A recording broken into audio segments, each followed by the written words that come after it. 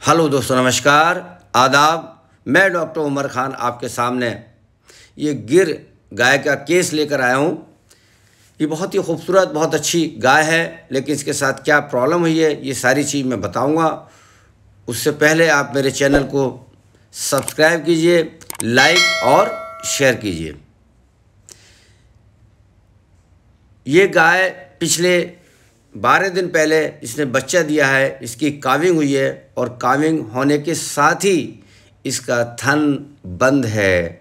Tit ऑब्स्ट्रैक्शन है, tit stenosis है और थन बंद कहाँ से है, हम डायग्नोसिस कर रहे हैं लगभग मिड, बीच से थोड़ा सा नीचे को थन बंद है और दूध आ ही नहीं रहा इसके अंदर से। बहुत सारे प्रयास गाय मालिक के द्वारा किए गए लोकल डॉक्टर द्वारा दिखाया गया इसके अंदर टीट साइफन डाला गया और कोई भी कामयाबी इसके इसको नहीं मिली। तो अब हम इसको आ, किस तरीके से इसका सर्जरी करेंगे ये पहले हम देख रहे हैं। देखिए आधे थन से थोड़ा सा नीचे इसको गांठ है पीछे पूरा दूध भरा हुआ है और ये यहाँ पर ये आप देख पा रहे ये ये जो हिस्सा है, ये सब में दूध है और ये जो हिस्सा है यहाँ पर दूध नहीं है। ये हिस्सा यहाँ पर गांठ है। जहाँ मेरा हाथ है, अंगुली से बता रहा हूँ, डिमोर्केशन दिखा रहा हूँ, यहाँ पर गांठ है। अब से 20 साल पहले जब मैं काम कर रहा था तो इस टाइप के थन लगभग सब खराब हो जाते थे, ठीक नहीं होते थे। इस पर मैं लगातार काम किया, इतना काम किया और आज इस इस टाइप के केस में अच्छी खासी सफलता मुझे मिल चुकी है। तो ये मैं आपको लोग को शेयर कर रहा हूँ। गाय मालिक को पता होना चाहिए कि गाय लगभग ठीक हो जा, इस ऐसे थन गायों के ठीक हो जाते हैं। इसके लिए क्या क्या सामग्री लगेगी? ये सोलह नंबर और चौदह नंबर कैथरेटर है, ये जाइलाजीन है, और ये ब्लेड है, ये स्प्रेड है, ये बिटाडीन है, और ये टीट साइफन है। अब मैंने अप्रैन पहन के इसकी तैयारी कर रहा हूँ। ये जाइलाजीन असिस्टेंट भर रहा है। ये फिर हमारे साथ तीन, चार, पाँच लड़के हैं, इनको हम सिखा रहे हैं। ये हमने एक एम एल जाइलाजीन लिया है और इसको हम ईयर वैन में दे रहे हैं। और ये एक एक करके आपको मैं आज बताऊँगा, इसमें कहीं भी दूध नहीं आया है, नहीं सर्जरी के बाद लेकिन बहुत बड़ा मैजिक रिज़ल्ट ये है कि ये मैं कई दिन के बाद, काफ़ी दिनों के बाद इस वीडियो को शूट कर रहा हूँ और अब पशु मालिक ने बताया है कि नॉर्मल दूध इसके थन से आने लगा है। उसकी वीडियो आपको बहुत जल्दी मिलेगी। चूँकि वीडियो एकदम आसानी से नहीं बनती हैं, ये देखिए। ये हम इसको स्प्रे कर रहे हैं एंटीसेप्टिक लोशन का स्प्रे कर रहे हैं ये।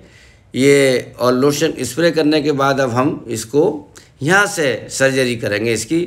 और सर्जरी के बाद मेरा मानना ये है कि ये थन ठीक होना चाहिए, ठीक थन ठीक हो जाएगा। और ये देखिए, ये कोई रास्ता नहीं है। ये पूरी तरीके से आइडेंटिफाई करते हैं। अगर आपका आइडेंटिफिकेशन गलत हो गया तो गाय का ऑपरेशन ठीक नहीं हो पाएगा, थन बेकार हो जाएगा। ये हमने टीट साइफन लिया। और टीट साइफन को मैं हमेशा मना करता हूँ, लेकिन इस केस में हमें टीट साइफन का सहारा लेना पड़ा है।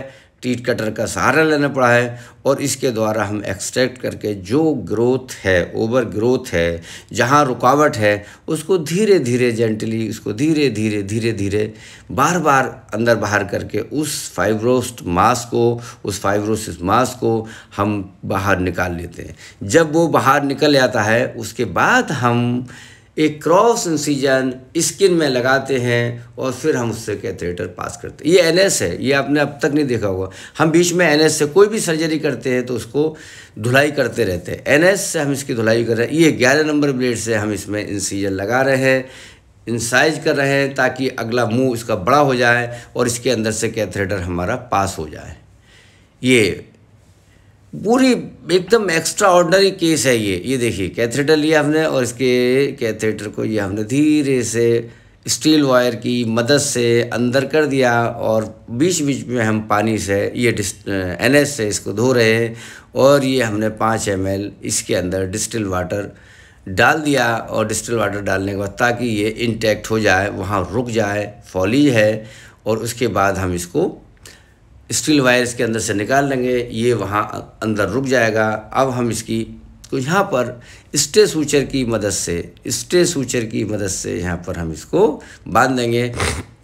जब भी अब दूध आएगा, वो दूध इसी पाइप से आएगा, फॉली से आएगा, और हाथ लगाने की ज़रूरत नहीं है। पाँच से छः दिन के अंदर हम इस पाइप को निकाल लेंगे और ये गाय बिल्कुल ठीक हो जाएगी। इसको हमने इंटरसेप्ट है, जो साढ़े चार ग्राम पर डे दिलवाया है। एक इंजेक्शन इसमें वाइटम है, टेन एम पर डे दिलवाया है और एक मेलोनेक्स दिलवाया है, इसको पंद्रह एम पर डे। बहुत बहुत शुक्रिया, थैंक यू, धन्यवाद।